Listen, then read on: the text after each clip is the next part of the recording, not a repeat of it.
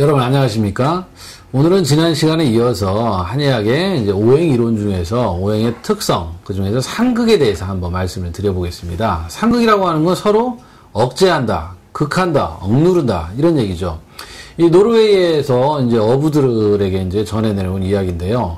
이 어부들이, 어, 이제 어업을 나가서, 조업을 나가서, 음, 많이 이제 생선을 잡았습니다. 이 정어리를 굉장히 많이 잡았는데, 이 정어리들을 많이 잡아서 돌아오는 중간에 보면은 이 정어리들이 다 죽어 있더라는 거예요. 그래서 아 이거를 곰곰이 생각해 보다가 어 우연찮게 이제 이런 걸 발견하게 되죠. 그날 바다 메기를 잡은 겁니다. 그래서 이 정어리가 굉장히 많은 틈에다가 이 잡은 그 메기 바다 메기를 한두 마리 이렇게 넣어 놓으니까 집에 와서 보니까 이 정어리들이 하나도 안 죽고 생생하게 살아있더라고 하는 것입니다.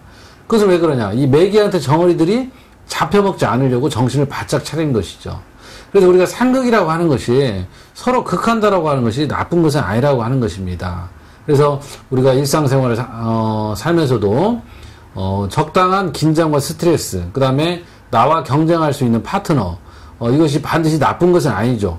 어, 물론 이 상극이 너무 과하게 되는 것은 좋지 않겠지만, 예를 들어서 우리가 목생화다. 그래서 이 목의 기운이 화를 많이 생하는데, 어, 화를 눌러줄 수 없는 금의 기운, 금, 이제, 그, 아, 화라고 하는 게 수극화죠. 이 수에 물의 기운이 없다면은 이 화가 너무나 많이 번성하고 메마르게 되어 있죠. 그래서 이런 경우는 이 화를 어, 눌러줄 수 있는 극의 기운이 반드시 필요하다고 하는 것입니다. 그래서 이 상극이라고 하는 것도 반드시 좋은 건 아니고 오장의 어떤 기운들이 너무 항상했을 때는 이 극의 기운을 가지고 적당하게 조절을 해주는 것이 필요하겠습니다.